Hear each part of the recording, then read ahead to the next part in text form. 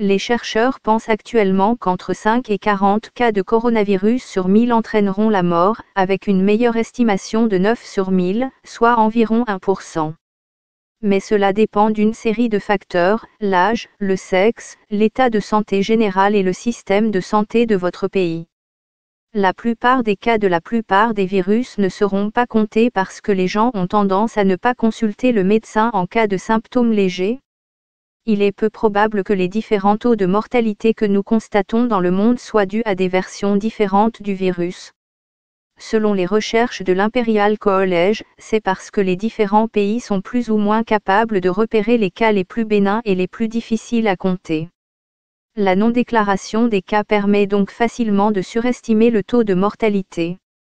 Mais vous pouvez aussi vous tromper dans l'autre sens.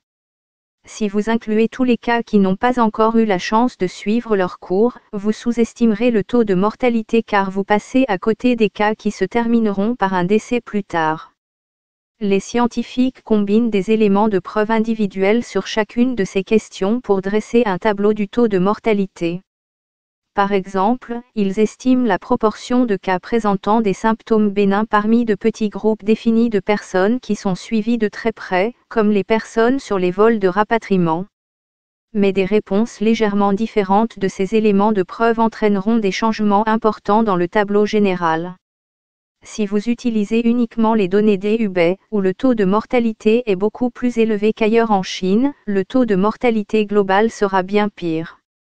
Certains types de personnes sont plus susceptibles de mourir si elles contractent un coronavirus, les personnes âgées, les malades, peut-être, les hommes.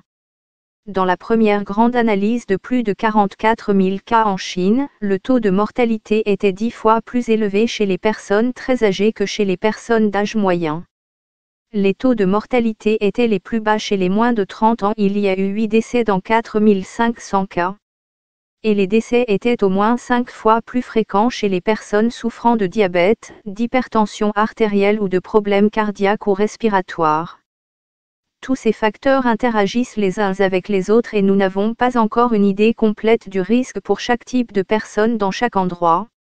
Un groupe d'hommes de 80 ans en Chine pourrait présenter des risques très différents de ceux des hommes du même âge en Europe ou en Afrique plusieurs cas confirmés de coronavirus ont été signalés dans plusieurs pays d'Afrique, Algérie, Égypte, Nigeria, Maroc et Sénégal. Si l'épidémie prend de l'ampleur, les systèmes de santé pourraient être submergés de cas. Il n'y a qu'un nombre limité d'unités de soins intensifs disponibles dans une région donnée.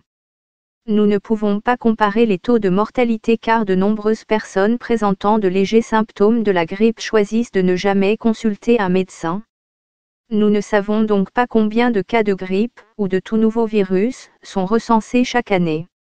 Au fur et à mesure de l'évolution des données, les scientifiques pourront se faire une idée plus précise des personnes qui seraient les plus exposées.